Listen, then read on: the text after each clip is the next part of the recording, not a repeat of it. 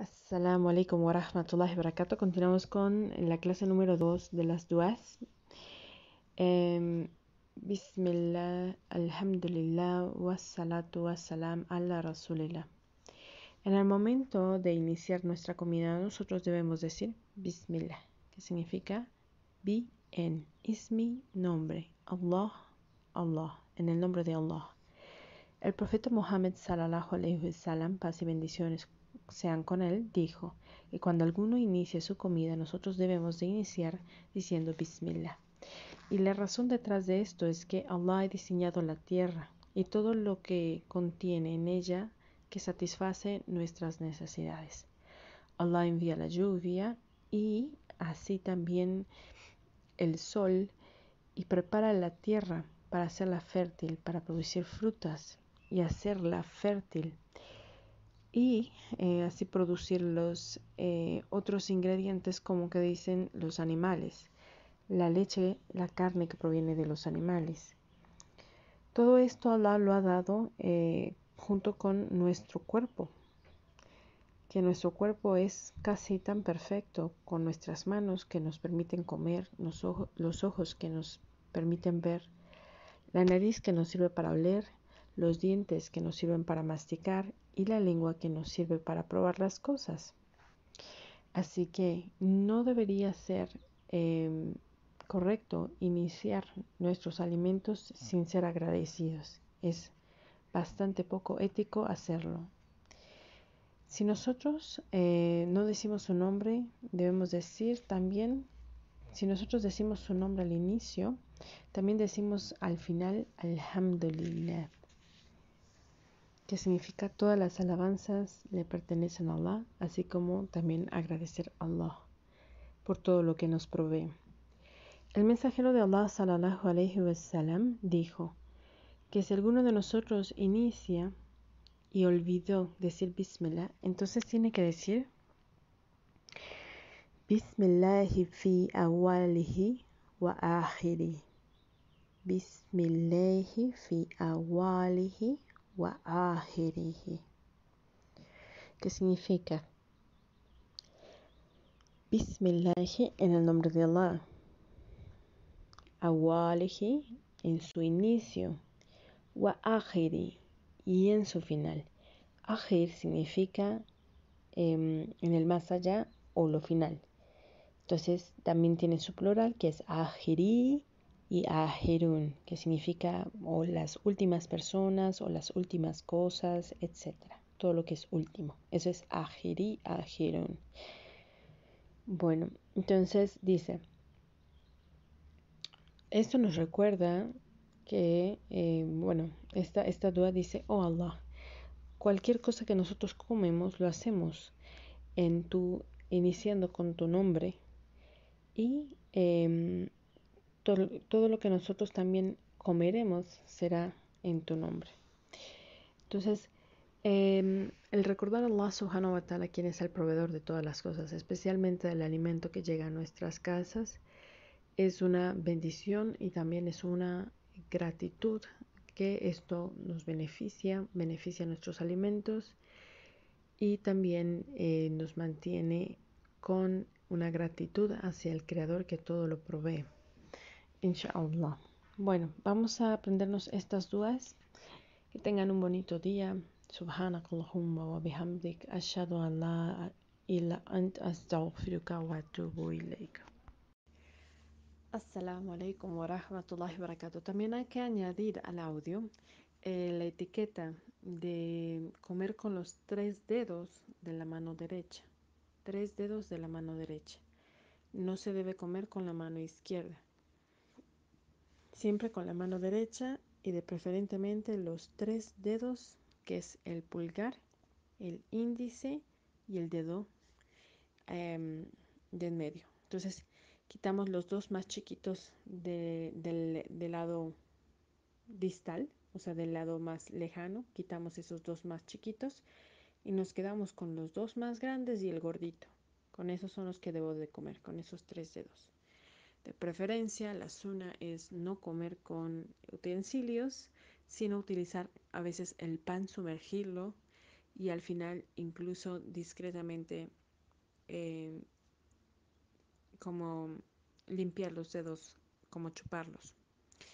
Eh, y con el pan también se come, hay, veces en las que hay gente que incluso limpia el, el plato con el pan. Mucha gente todo esto por cuestiones culturales lo ven como, ¿cómo decirlo? Como poco ético porque ellos han puesto sus propias etiquetas, pero eh, dice el mensajero de Allah alaihi wasallam que no sabemos en qué porción está la baraka. La baraka significa la multiplicación, la bendición, em, todo lo bueno. ¿Dónde está la baraka? Entonces, por eso incluso em, los tres dedos también hay gente que, lo, que los chupa. Les voy a traer los hadices. Eh, obviamente em, hay que ser muy limpios en todo lo que nosotros hacemos, ¿no? Hay gente que, piensa que el, chuparse los dedos está, es algo desagradable, pero eh, si conocieran la limpieza del musulmán que lleva durante todo su día a día, eh, al contrario, ¿no? Em, entonces, también parte de la suna es el sentarse de una manera en específica al momento de comer. Estudios han revelado que nuestro cuerpo consume más alimento que lo que solíamos hacer antes y por eso tenemos, mm, estamos más obesos y también por, eh, que los alimentos ahora están distintos, ¿no? Procesados distintos, etcétera, ¿no? Pero aparte también dice que cuando nosotros creamos las sillas, porque originalmente era sentarse sobre el piso y parte de nuestros pies constantemente presionaban nuestro estómago, haciendo que nuestro estómago no cupiera tanta comida. Em, entonces, eh, ahora que inventamos la silla, estamos más rectos. Entonces, eso hace que nuestros estómagos se llenen más y por eso tenemos a tener más panza como abultada. Eh, sepan que también hay suna en el momento de la cantidad del alimento tiene que ser un tercio de agua, un tercio de comida y un tercio de aire, un tercio de comida, un tercio de agua y un tercio de aire. Es decir, no se supone que nos debemos de llenar o sentir satisfechos. Hay gente, hay gente que comemos hasta sentir el alimento o nuestro estómago completamente saciado, ¿no? Entonces, es también parte de la disciplina es muy difícil encontrar un musulmán practicante que tenga obesidad, debido a que tiene que seguir la disciplina en su día a día y eso implica también la cantidad de alimentos que consume y lo que consume. Alhamdulillah.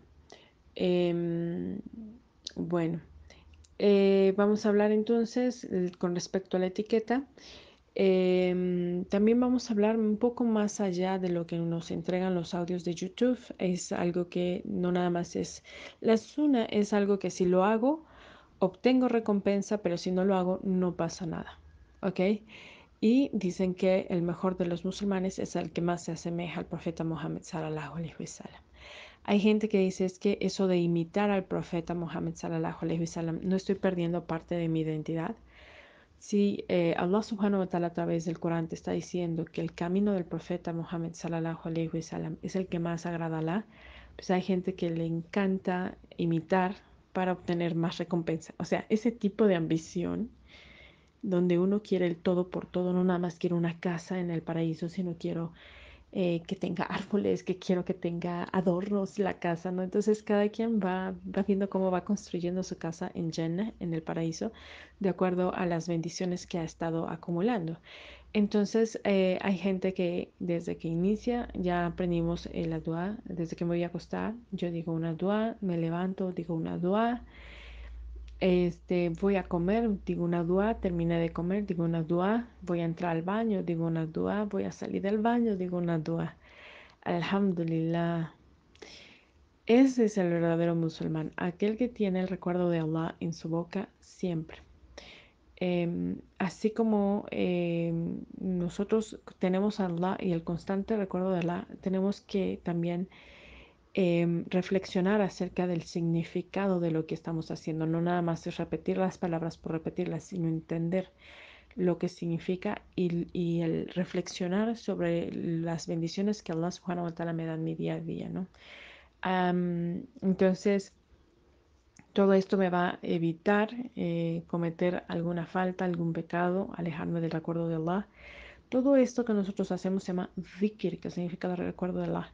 Y quien recuerda a Allah está cerca de Allah. Quien no está cerca de Allah está lejos de Allah, lo que implica que hay más probabilidades en que se equivoque, que hay más probabilidades en que cometa una falta, más probabilidades en que caiga en depresión em, y en que los desafíos que Allah subhanahu wa ta'ala le, le coloque no los pueda superar, porque está enfocado en el problema y no en la esperanza de que Allah o lo está poniendo a prueba para obtener una recompensa o eh, le va a, como, a dar eh, una gran paga, tanto en esta vida como en la otra.